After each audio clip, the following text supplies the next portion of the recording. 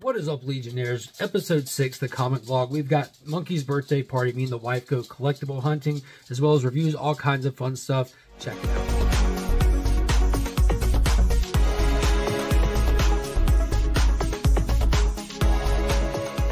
Sports card trading show is back. I always find other stuff other than sports card. I found some cool comic box cards here, some comics. ABX is always here just went on my lunch break from work, figured I'd pop in. It's at Pineview Baptist Church in Augusta, Georgia. They seem to have these every every few months. I think they do them like two or three times a year at least at a park back in the North 40s because there's a legitimate legitimate crowd here today and they always set it up in the gym. It's free entry. I believe it's free to even table. Like I wouldn't quote me on that, but it's a super super awesome event that the church here does. Super awesome. This happens to be the church that uh, we're a member at. So it works out perfect. So I wasn't able to stay at the show very long. I was on my work break, but I did pop in, do a little walk around. I got to see my old manager, Clay, back when I worked at ABX in high school.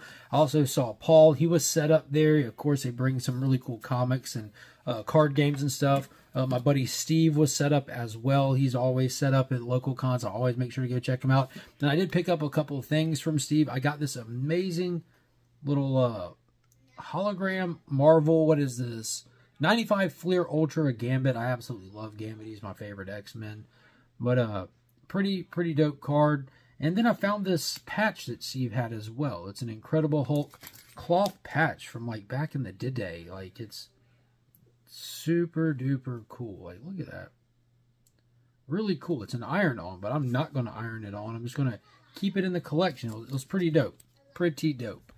Good morning, Legionnaires. It's Tuesday, and I spent a good part of my evening talking to my buddy Alan, the comic Viking, and he expressed his interest in the Daniel Warren Johnson signing at CGC and that he was wanting to get some specific books that he's really into for that signing.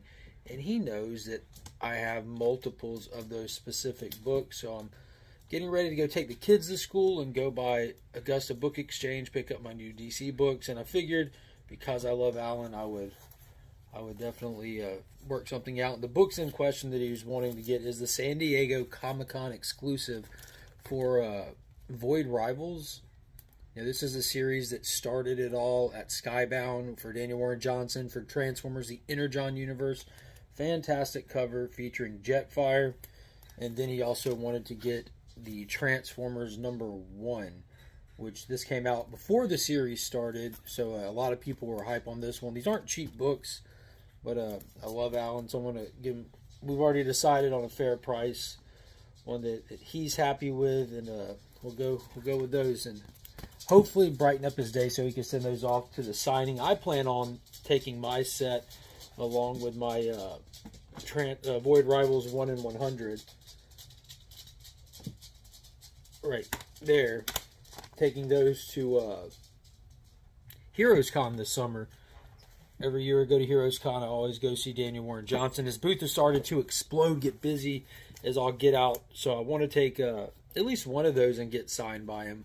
So I'm skipping the CGC in-house signing. I'd be curious. There's a lot of CGC in-house signings that have been announced over the past couple of days uh, for Transformers fans, B-Dub fan, or Daniel Warren Johnson fans, as well as Wolverine fans. So are you sending anything in? Have you ever sent stuff into an in-house signing? Uh, leave me some thoughts down below. Let me know. We're here. We have made it to ABX Comics and Games. Augusta's original comic and gaming store right here in Augusta, Georgia. Be sure to stop by if you're ever in the area. Let's see what we got today.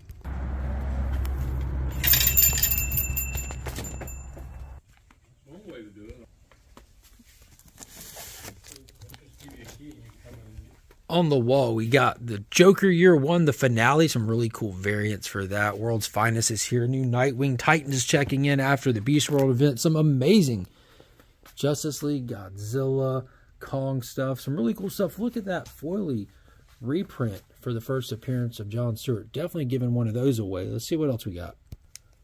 Going with that, going with that, going with that. There's that. This was really fantastic. World's Finest. And that, yeah, solid week, solid week. Here we go, picked them out. First off, the Godzilla King Kong Justice League variants are dope. But the giveaway today will be the foil reprint, the David Nakayama Catwoman, and this beautiful Rahzzah cover. I mean, look at that. That is insane. Every Tuesday, I go live at 2 p.m. on my channel to preview and hang out and talk new DC books and always run a giveaway and throw in all kinds of extra stuff with them. Be sure to check it out. Got a few reasons before I hit the car line. The Godzilla Kong Justice League was fantastic. We are bringing in all kinds of cool stuff. What a great great series. They're touching on so much with the MonsterVerse, so much with DC. It's definitely not a throwaway feeling event at all. There's time, love, and consideration put into this. Uh, this is the best book on shelves right now. This blew me away with the powerful storytelling. Uh, War Journal was great, where uh, I thought that issue six would really get past this current story arc with the Revenant Queen and everything, but it looks like we're going deeper into it. I'm ready to get past it, but at the same time, I'm, I'm completely captivated by what we're doing. And some of the best use of construct and construct building is done by John Stewart. There's no ifs, ands, or buts about it. The whole architect mind and the technical aspect of him and the way he uses his construct is on full display in this. Philip Kennedy Johnson is sending it.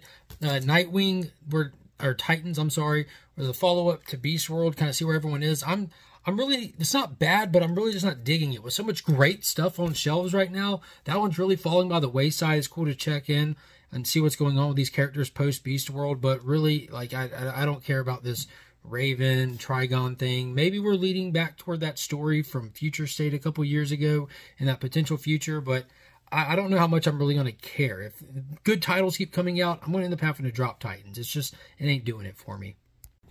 I'm in complete awe with how good this Return to Kingdom Come story was. We got Darkseid on Earth 22 for the first time. It was more menacing than I've seen Darkseid in a long time. The story was heartfelt.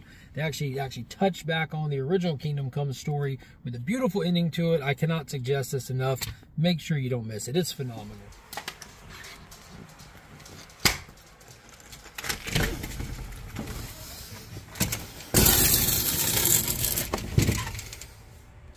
Solid stack right here. See, I can't cover this address. Boom.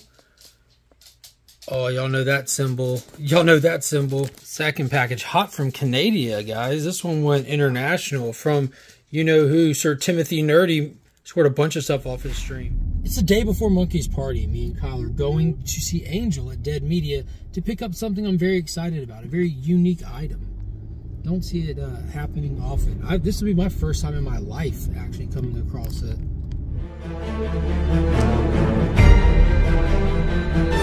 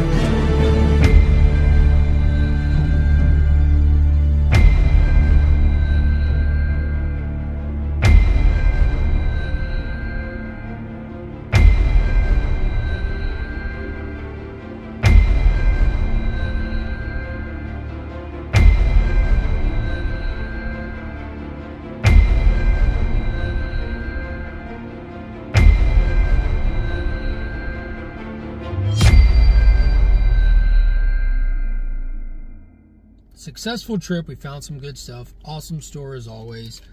We found Finn something. I don't know if you can see it. See if you tilt it. It's a Nintendo DS game. We have him one ordered that uh, not showing up on time. So Kyle found this King Kong, Peter Jackson's King Kong game for DS. So we grabbed that. The official game of the movie. The official game of the movie. And then if you follow the channel, you know that I do the Legion Loot monthly appreciation prize for the channel members. And I've been building and curating a very specific one for this month with all the no FOMO content that goes around. I figured I would build specifically a massive FOMO book giveaway. So I found some cool stuff to add to that. I got, uh, of course, we picked up X-Men Adventures 1 since X-Men 97 was announced to be uh, coming from Disney. There's the comic from the original series. And what else do we got in there? Picked up another copy of Spawn 1 since we just passed that Landmark 350 issue and you can never go wrong with Spawn. And for the Ultimate Spec book, Ultimate Spec book, we got another copy of Super Pro number 1. So that's always a fun one. Never can go wrong with that. So those will be added in there. But what we went out to get, like I mentioned earlier, uh, an absolute rare piece to find. The original uncut version of the original 1933 King Kong. But what's special about this, that's not a VHS. That is a Betamax. Like back in the day. So little. It's, it's little. but yeah, a little Betamax original King Kong. I have no way of playing this and watching it whatsoever. I mean, I have the movie, numerous different versions, but I did not have a Betamax copy, nor have I ever seen one. So when I saw that, I'm like, look at that box art on it. Just Show the picture on the back. yeah, him fighting the pterodactyl. super awesome, super duper awesome. Had to get that. So super successful get. We're here getting monks from school. Birthday party tomorrow is going to be a great weekend. You excited for your birthday? Uh-huh. You ready for the bouncy house? Uh-huh. You ready to party? Uh huh.